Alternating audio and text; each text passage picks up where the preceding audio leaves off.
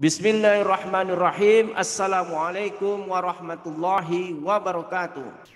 Selamat siang pada siswa-siswa Indonesia di mana pun Anda berada. Rumah singgah dan rumah singgah dan rumah sakit matematika kembali hadir menyapa Anda untuk bersama melalui pembelajaran matematika ini dengan hal-hal yang menyenangkan. Kita selalu berdoa agar siswa Indonesia diberi kekuatan, diberikan semangat untuk terus belajar menimba ilmu matematika sehingga menjadikan matematika itu menjadi sahabat yang menyenangkan juga menjadi ilmu yang membumi di Nusantara sehingga tidak ada kata takut, tidak ada kata malas, tidak ada kata galau untuk belajar matematika. Begitu juga kita dari rumah singgah rumah sakit matematika menyapa orang tua dan guru Jangan ada kata-kata galau, kata-kata resah dalam memahamkan pelajaran matematika kepada anak-anak kita. Karena rumah singgah, rumah sakit matematika siap sebagai teman dan sahabat orang tua dan guru dalam bersama-sama menjadikan siswa Indonesia tangguh dan kuat dalam bermatematika. Kita dari rumah singgah, rumah sakit matematika tentunya bersama kru dan bersama dengan rekan-rekan dari program studi matematika Fakultas Sains dan Teknologi UIN Suskaryau akan terus tetap bersemangat bersama-sama dengan siswa Indonesia untuk belajar matematika. Seperti biasa, kita akan coba mempertajam kemampuan siswa Indonesia, terutama SMP kelas 8 dalam memahami teorema Pitagoras. Kita sapa dulu kepada siswa SMP kelas 8. Assalamualaikum warahmatullahi wabarakatuh. Kita coba lihat soal yang telah dipersiapkan oleh kru yang akan kita bahas bersama tentunya. Kita lihat soalnya. Kita tetap menggunakan buku dari Kementerian Pendidikan dan Kebudayaan kelas 8 SMP semester 2 halaman 48 pembahasan soal nomor 16 dan 17. Kita tengok soal bersama-sama. Luas daerah yang diarsir dari gambar di samping. Nah, gambar yang diarsir ini kan gambar suatu persegi panjang.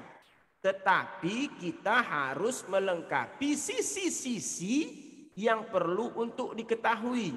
Sisi yang sepuluh sudah ada. Sekarang yang belum ada sisi yang satu lagi. Cara menjawabnya bagaimana?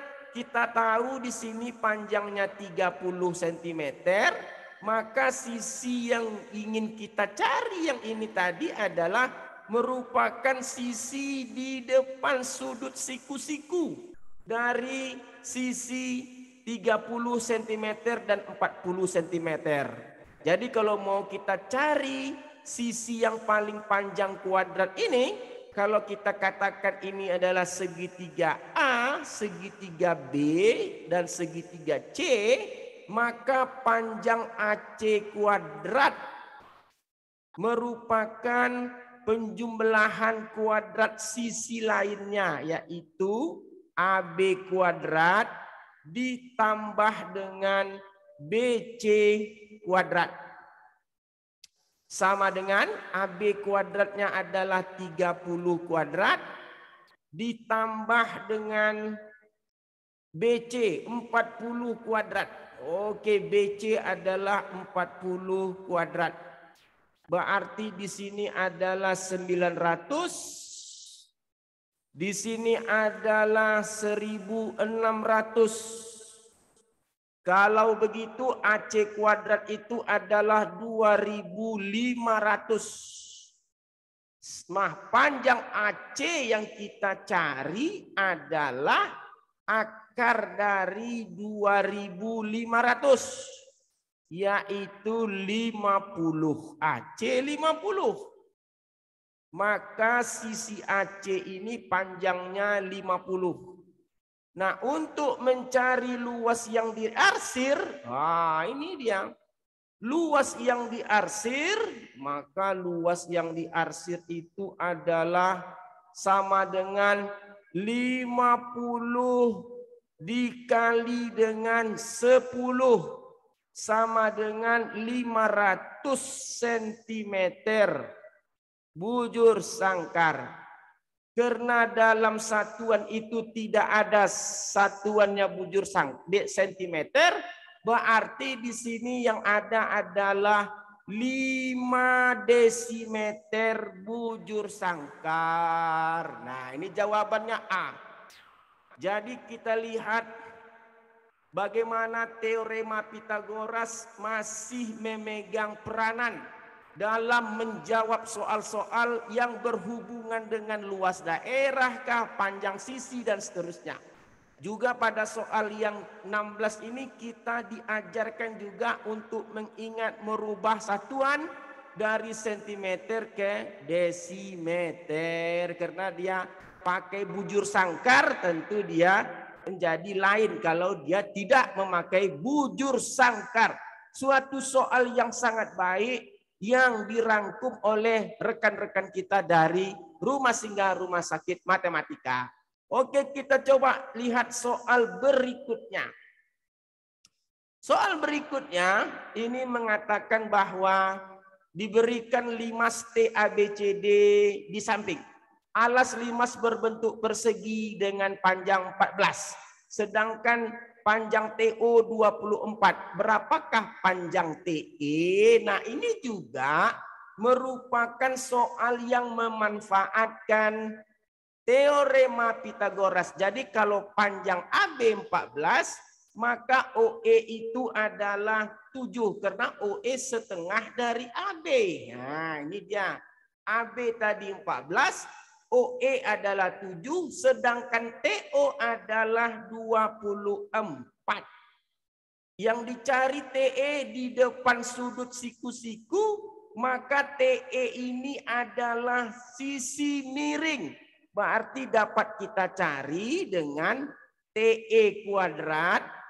Oke, di sini TE kuadrat sama dengan TO kuadrat ditambah dengan OE kuadrat. Nah, ini jangan lupa, ini adalah konsep dari Pitagoras. Sama dengan 24 kuadrat ditambah dengan 7 kuadrat. Nah kalau 24 kuadrat nggak apal cari aja 24 kali 24. Saya juga nggak apal, nggak hendak berdosa kita mencari. Biasa aja itu naik satu sembilan enam dua kali empat delapan empat berarti lima ratus tujuh puluh enam. lima ratus tujuh puluh enam ditambah dengan empat puluh sembilan. Berarti sama dengan di sini 15 naik 1 12 naik 1 625.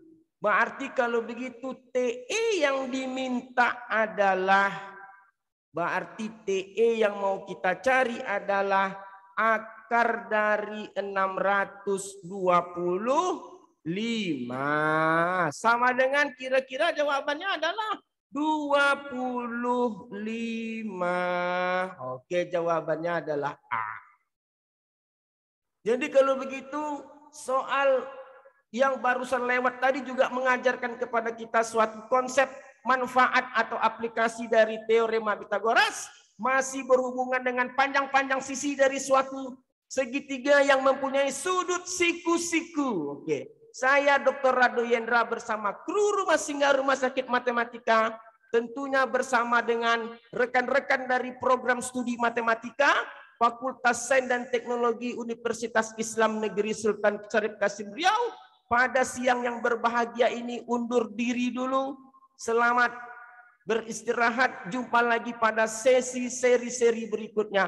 Wabillahi taufik wal hidayah. Assalamualaikum warahmatullahi wabarakatuh.